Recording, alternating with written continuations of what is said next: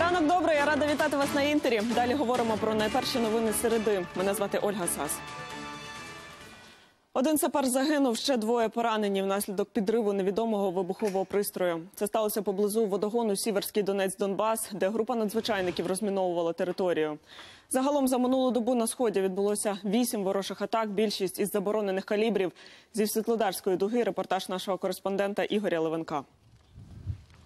Донеччина прямуємо до нульових позицій наших військовиків. Неспокійна світлодарська дуга. На одній з ділянок фронту закріпилися нацгвардійці полку Азов. Проти них окупанти відразу провели розвідку боєм, наразилися на підготовлених і добре оснащених українських бійців.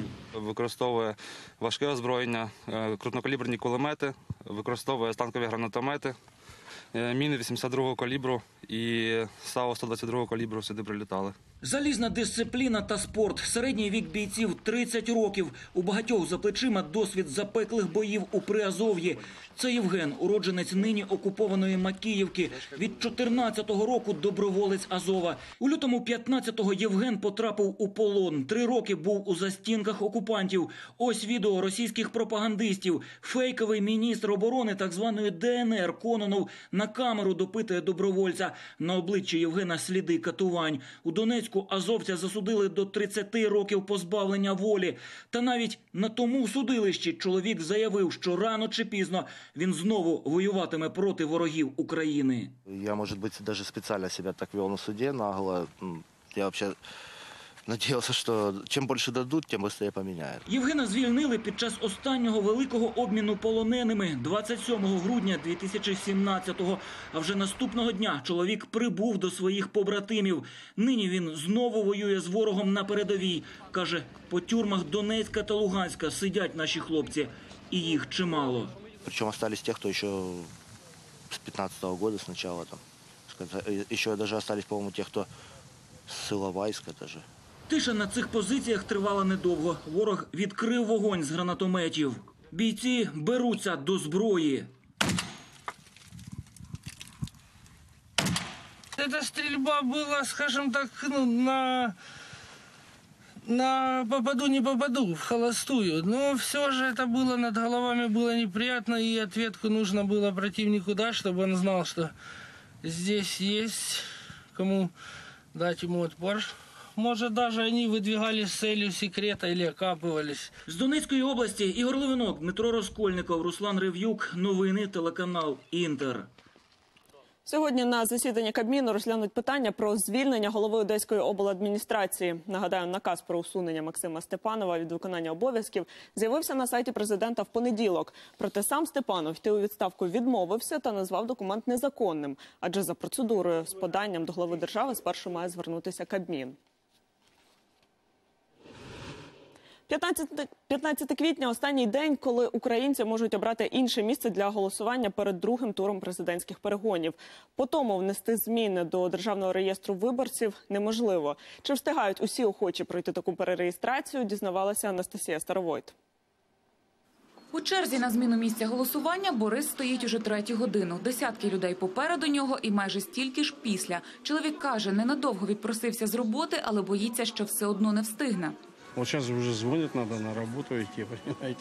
И когда это закончится? Если что-то, если что-то не получится, то надо в 7 часов или в 6 приехать получить, чтобы прийти еще на работу. Така ж ситуація з чергами і в інших районних держреєстрах виборців столиці, адже кінцевий термін зміни місця голосування перед другим туром 15 квітня. Самі ж виборці такий ажіотаж сприймають цілком спокійно. Чекаємо, скільки треба. Не лякає вас така черга? Ну ні, не страшно.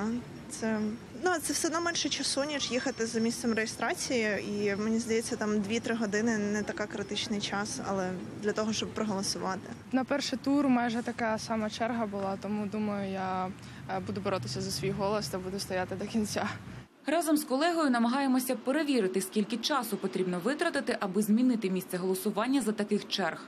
Перед першим туром я прийшов до відділу десь за два тижні до власне до кінцевої дати, коли можна змінити своє місце. І черг е, таких, як, наприклад, зараз ми бачимо, не було. Я не розумію, чому не можна було залишити тих людей, які вже перереєструвалися перед першим туром, на другий так залишити. Охочих чимало, але і самі виборці, і працівники держреєстрів розуміють, перереєструватися встигнуть не всі. Тож фахівці просять українців, якщо можливо, голосувати за місцем прописки. Дійсно, немає можливості, хто, які виборці проголосувати за місцем, де визначена виборча адреса, це виборчі з окупованих територій. Вони дійсні, але якщо хочуть проголосувати, вони е, вимушені стояти в чергах, вони вимушені отримати це посвідчення.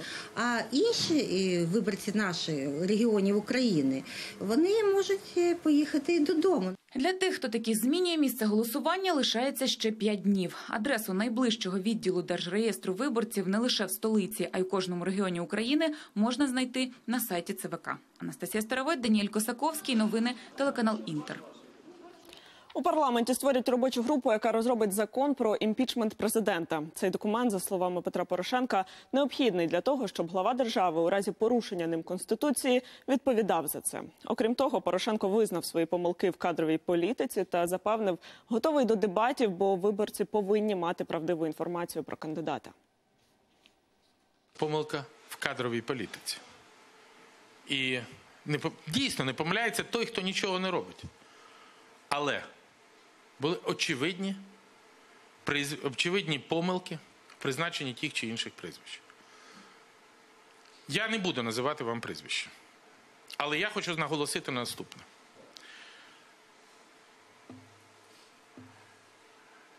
Ніяких бізнес-партнерів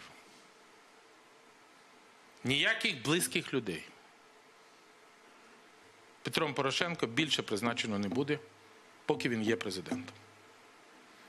Тому числі під час другого терміну. За рішення відкласти Брекзит на 30 червня проголосувала Палата громад британського парламенту. Тепер запит про відтермінування передадуть до Євросоюзу. Там його розглянуть уже сьогодні на позачерговому саміті.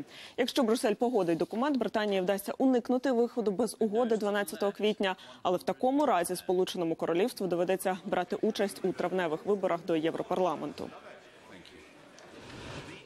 У Нью-Йорку спалах кору у місті оголосили надзвичайний стан. Влада вимагає від невакцинованих жителів терміново зробити щеплення. За словами мера, на порушників чекатимуть штрафи. Місцеві змі назвали спалах одним із найбільших за останні кілька десятиліть.